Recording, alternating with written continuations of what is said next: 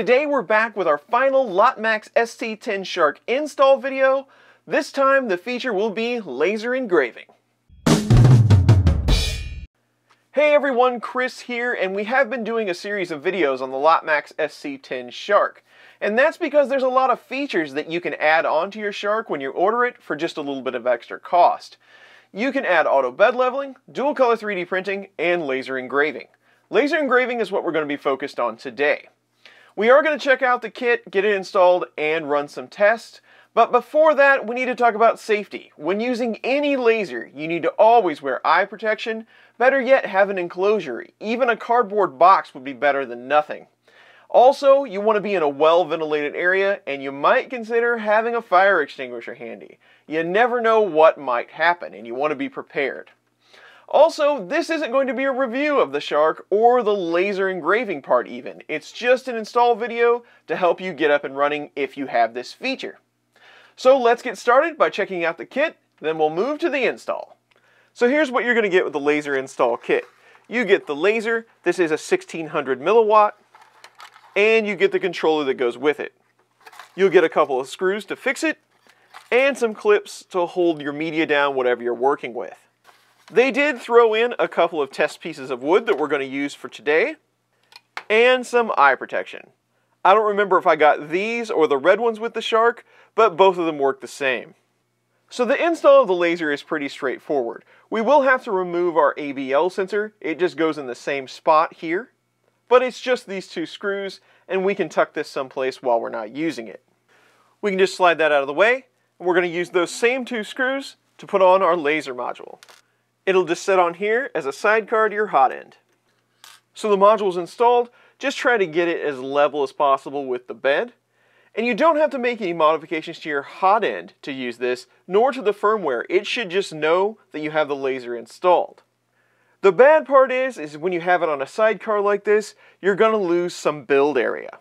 When using the laser, you only get 175 in the X, but you do get the full 235 in the Y. I'm just going to run my laser wires up over the top, also securing my touch sensor with a zip tie. We'll make sure we have some slack in here. And we'll just bring it down the side. I'm going to kind of follow the same path that I did with the touch sensor and the second dual color hot end and extruder. And then you have your laser port right down here in front with all the other ports. On your module, you can just take off your foam. The modules will slide on upside down, right like this. Then you have a T-nut that will hook into this extrusion. And here's a look at it from the bottom. We'll get our T-nut lined up into this slot here on top, slide the pins in, and then we can tighten up that T-nut. It's installed right here underneath the module. It was kind of hard to see, but that should keep it from going anywhere. And for this video, I'm just going to use some of the wood that Lotmaxx gave us with the engraver. We're going to take off our sheet, put our media down, whatever you'd like to use. And with this thin stuff, you can just use the binder clips that Lotmaxx gave you. We have one pretty close to each corner. Just make sure you're not going to interfere with anything as you move. You might hit that Y motor if you're not careful. Make sure the location on this one is correct. But it's moving freely. We should be good. And that's really all there is to the hardware install. If you go ahead and power up,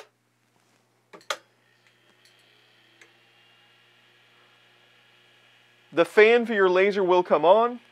If you check out the screen, it'll automatically go into laser mode. And that's really all there is to the hardware setup. It really couldn't be more straightforward. But now we have to move on to the software so we can get a job set up so we can start engraving.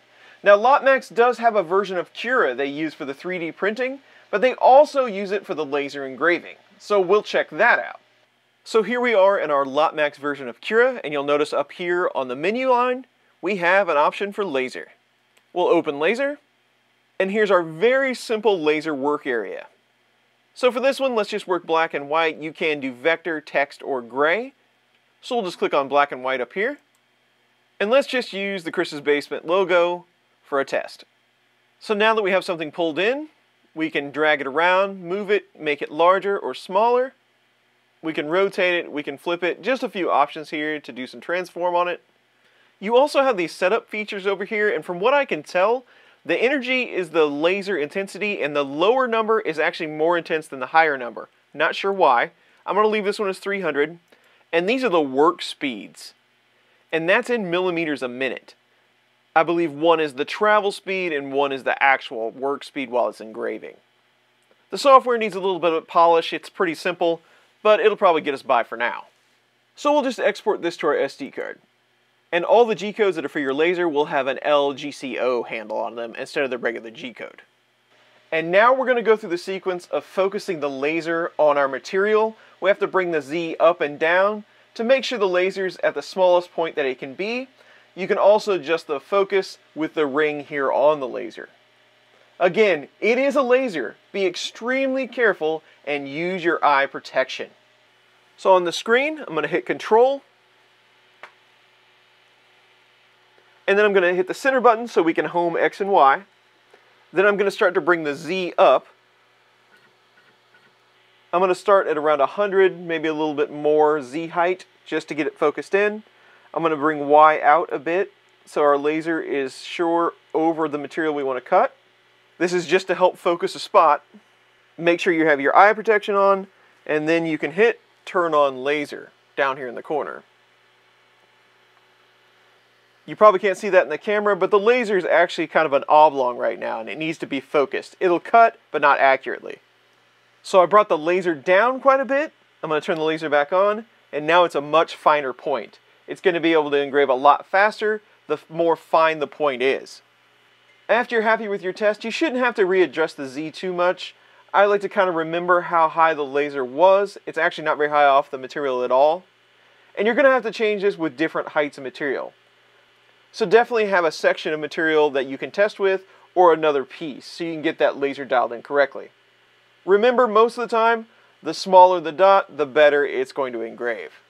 And now that the laser's focused, we should be able to just go to print, select the G-code that we made in the slicer, hit print, then it's going to home, and it's going to start the laser job based on the software settings we used wherever you had it set up in the orientation on that software is where it's going to burn it on your material. So we'll just hit print. And our job is started, and at the safety of everyone and my camera, I'll be back when it's done. And it's done. Now that job took about 45 minutes to complete. I'm sure you could adjust the power and the work speed. That laser should be able to cut like this a little bit faster, but you might have to play with it a bit. All in all, it came out okay. Now, I'm not real impressed with their software. There's not a lot of knobs you can play with there, but it is just raw G-code. They use an M5 and an M3 to turn the laser on and off. You could probably use those commands in another tool if you'd like. There's a lot of different laser engraving softwares out there that are way more robust than this thing's going to be. So there it is, laser engraving on your Lotmaxx SC10 Shark. Now the install of the laser couldn't have been any easier. The module and controller they give you that goes right into the front of the printer, it's really easy to install. It automatically gets you into laser mode, and it's going to be easy to remove when you want to go back to 3D printing. No changes needed in the firmware. Now the software they give you to set up your jobs, it is really lacking. There's just not much there and you can't control many options. But it does just create G-code, so I think you can use other software if you wish to get around that. Hopefully Lotmaxx adds more features to that in the future. That's it for today. Hopefully you enjoyed this video. Remember, when using a laser, safety first, and I will see you very soon on the next one.